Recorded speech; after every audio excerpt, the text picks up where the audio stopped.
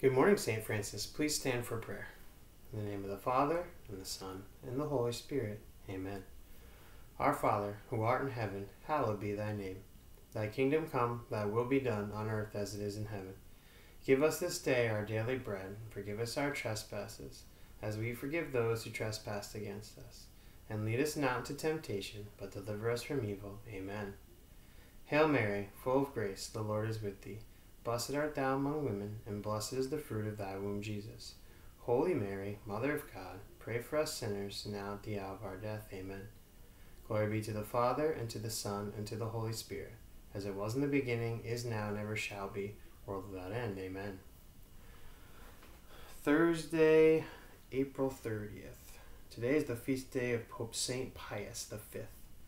Today's saint's baptismal name was Anthony. He was born in 1504 to a poor Italian family.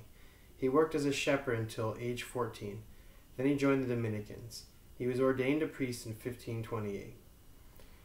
First, he taught philosophy and theology, and then he was asked to help guide young men who wanted to become Dominicans too.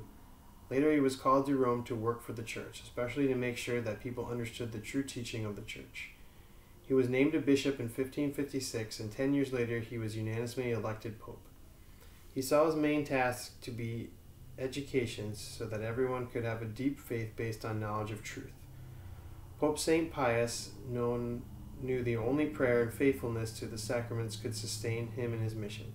He led a simple life and wore simple clothing beneath the magnificent vestments of his function.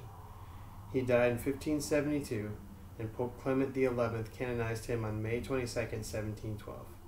Let's ask St. Pius to share his deep love and appreciation for the sacraments with us. God's life grace comes to us through them. Pope St. Pius, pray for us.